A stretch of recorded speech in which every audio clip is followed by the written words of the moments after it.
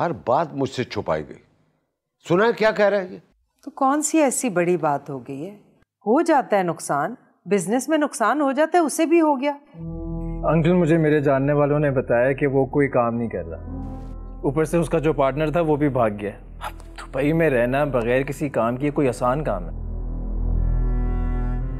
अगर उसका दुबई में ओवर स्टे हो गया इतना बड़ा जुर्माना लगेगा अंदाज़ा है आप लोगों को? यहाँ पे होता तो कोई ना कोई उसकी मदद तो कर देता। उसकी माँ सब जानती है। उसके बाप से पूछता हूँ कि ये सब क्या मज़ाक है। रहने दें क्यों? खामखा बात बढ़ा रहे हैं। बात तो बढ़ेगी। जो जो बताया गया था ऐसा कुछ भी नहीं हुआ। इसी दिन के लिए कह रहा था लेकिन तुम लोगों ने एक भी नहीं सुनी। अपनी जिद पर अड़े रहे। मैं उसके बाप से बात करता हूँ।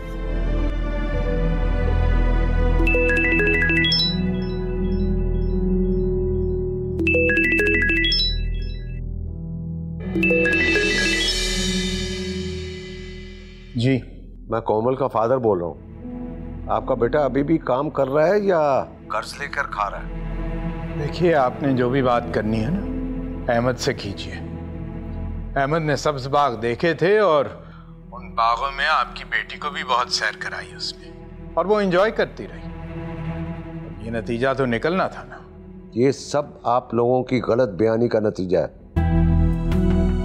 देखिए मौसूफ इसके अंदर आप सबकी लालची तबीयत का भी हाथ है। इसको नजरअंदाज मत कीजिए।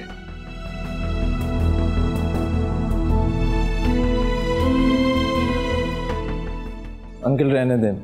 इनसे बहस का कोई फ़ायदा नहीं है। दरअसल, गलती हमारी भी है।